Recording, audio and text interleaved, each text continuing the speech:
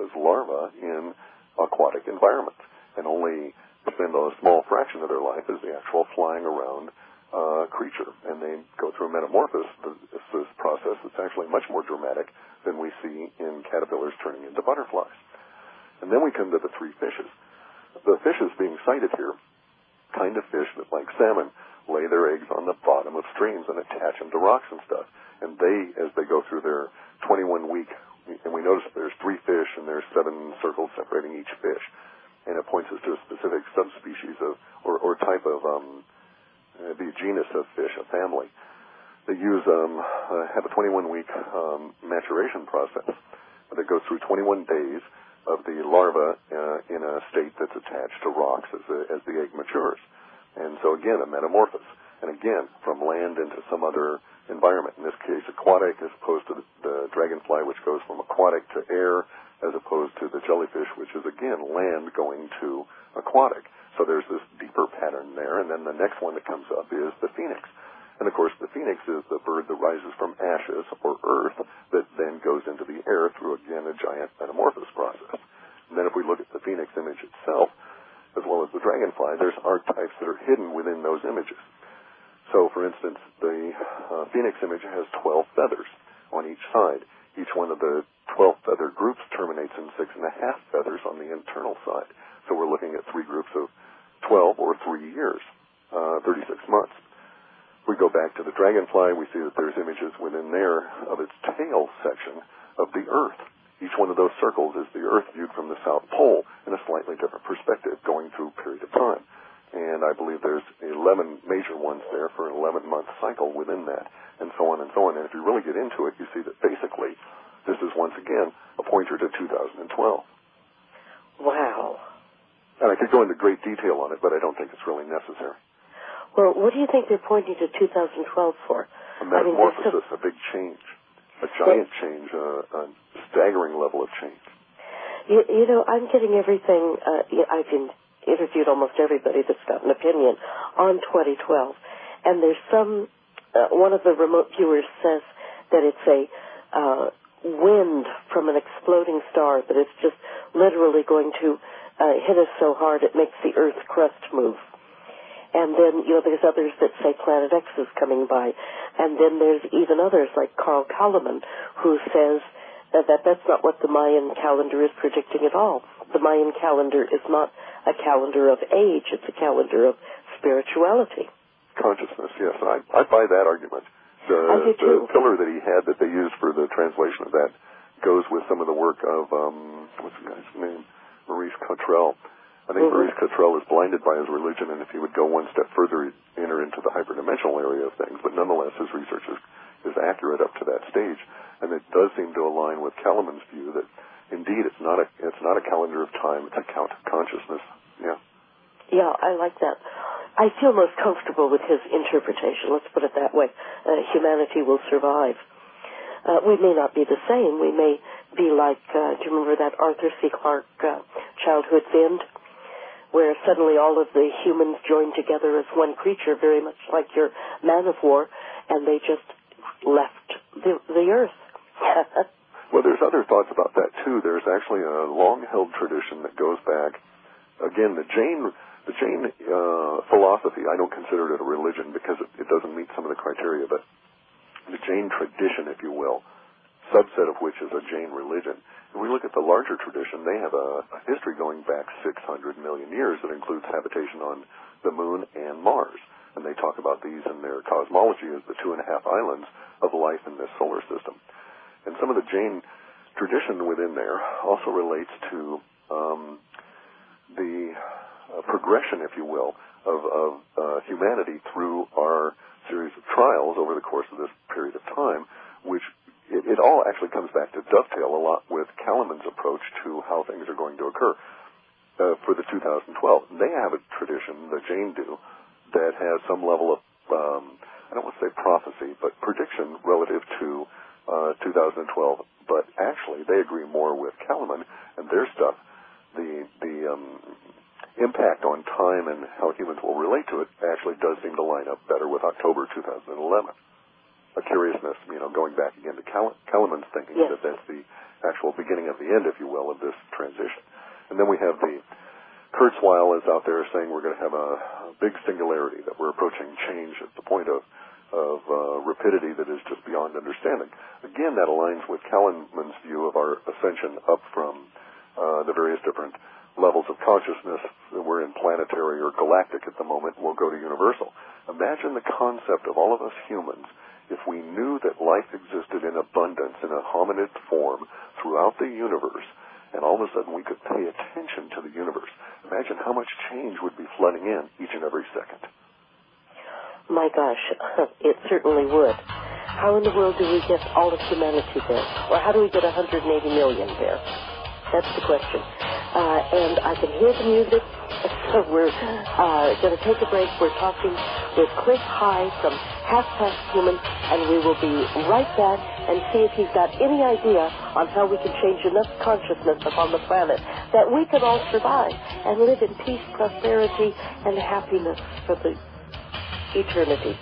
I'm talking with Clif High from Half Past Human, and we were uh, talking about how shifting the consciousness of a certain amount of people may allow us to escape all of the negativity that the web bot is predicting.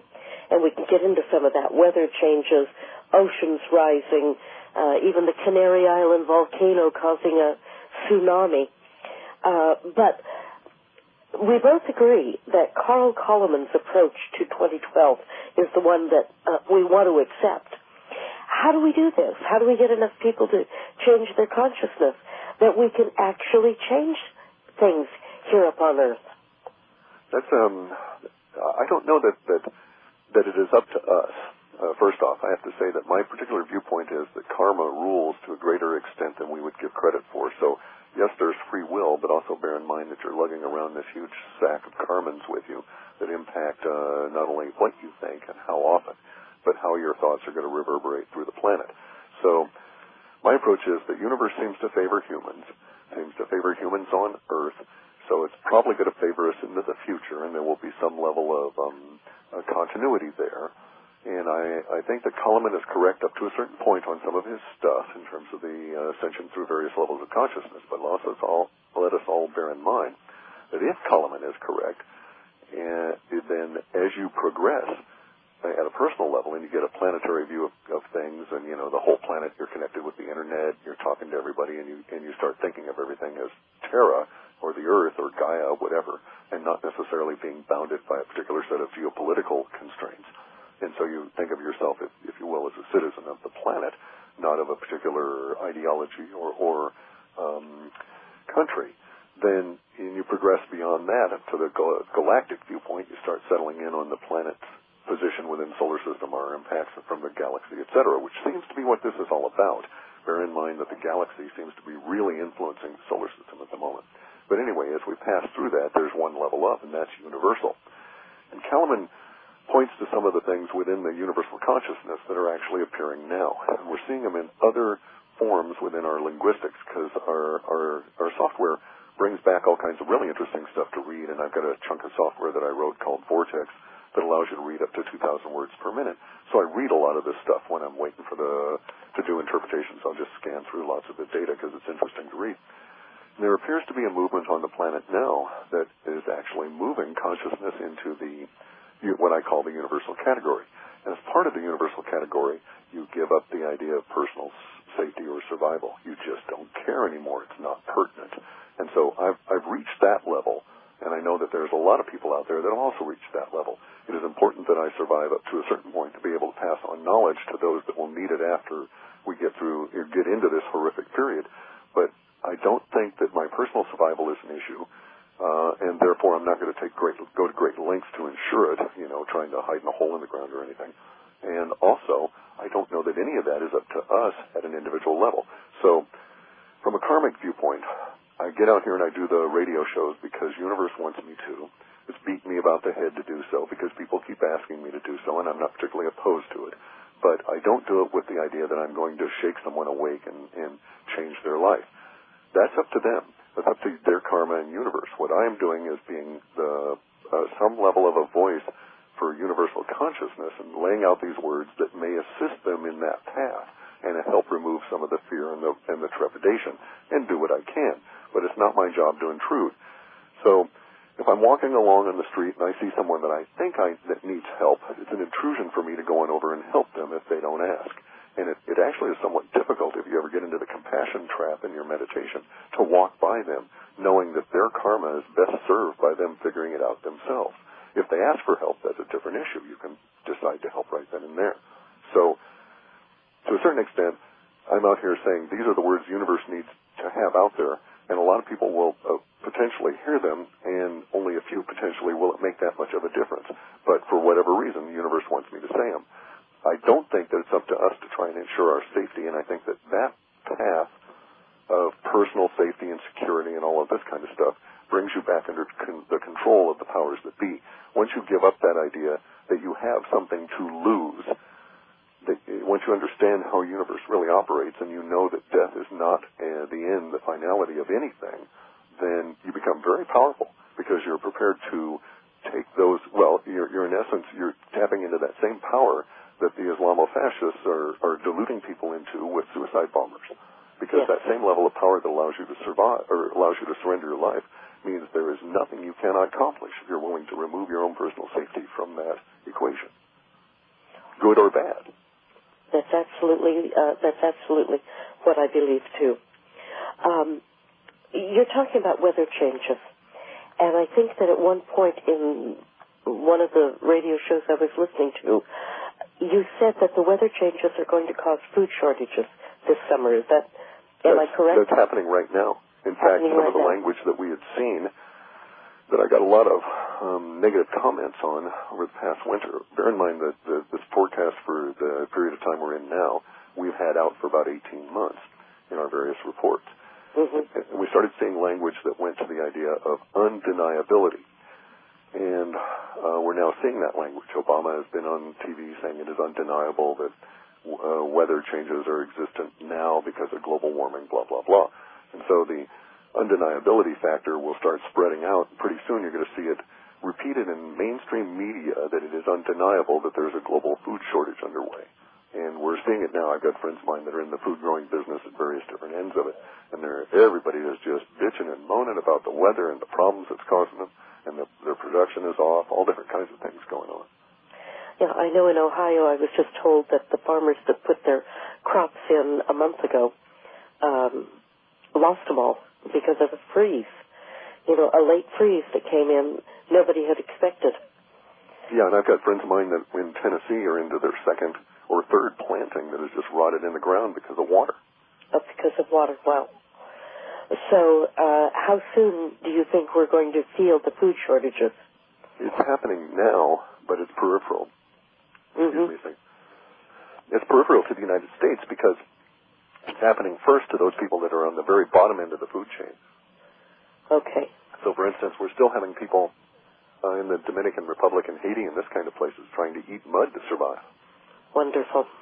Yeah, and the the issue has to do with the billions of us on the planet and how poorly managed we've been. There was, uh, you, you mentioned uh, Arthur C. Clarke and the Childhood's End, Yes.